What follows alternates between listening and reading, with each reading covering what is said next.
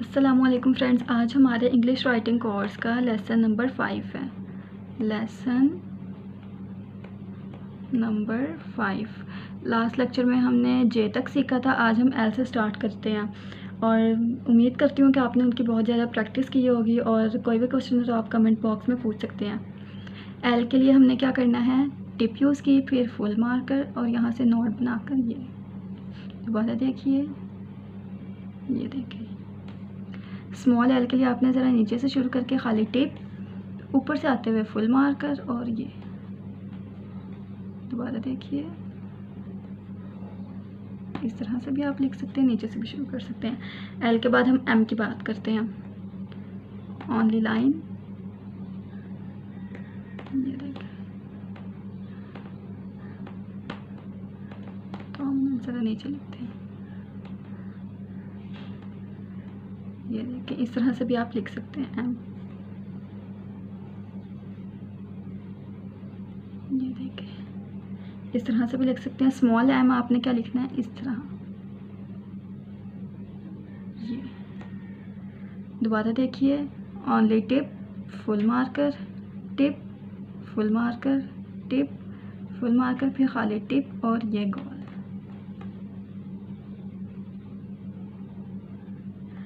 अब हम सीखते हैं एन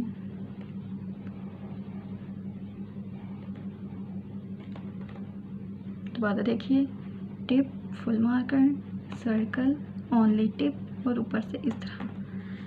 स्मॉल एन बिल्कुल स्मॉल एम की तरह है। एन के बाद हम ओ की बात करते हैं। ये बिल्कुल सी की तरह और इधर से भी उल्टा सी जिस तरह से हमने स्मॉल जी लिखा था डिज़ाइन में। स्मॉल ओ आप इस तरह भी लिख सकते हैं खाली। और ये देखें, ये इस तरह से भी कर सकते हैं, जिस तरह आपको पसंद हो। इसके बाद हम पी लिखते हैं। पी दोबारा देखिए। ये देखिए इस तरह से। बिल्कुल बी की तरह है। जिस तरह बी हमने लिखा, उसके बाद यहाँ से हम दोबारा बना देते थे। अब हम स्मॉल पी देखते हैं। ये ऑनली टिप फुल मार्कर और टिप के बाद फुल मार्कर इस तरह। इस तरह से भी आप बना सकते हैं।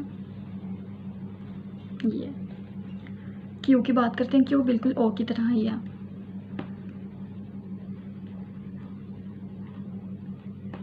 दोबारा देखिए।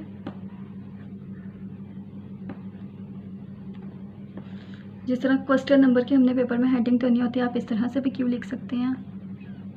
ये और फिर इस तरह क्यू? स्मॉल क्यू आपने इस तरह से सी की तरह और ये।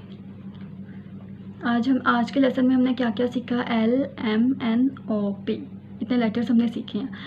आपने इनकी बहुत अच्छे से प्रैक्टिस करनी है, बहुत ज़्यादा प्रैक्टिस करनी है, जितनी आप प्रैक्टिस करेंगे, उतना ज़्यादा आपको अच्छे तरीके से आ सकेगा। ठीक है? आपका कोई भी क्वेश्चन हो, आपने कमेंट बॉक्स में पूछना है। मिलती हूँ अब आपसे नेक्स्ट वीडियो में, तब तक के लिए अल्लाह हाफिज़।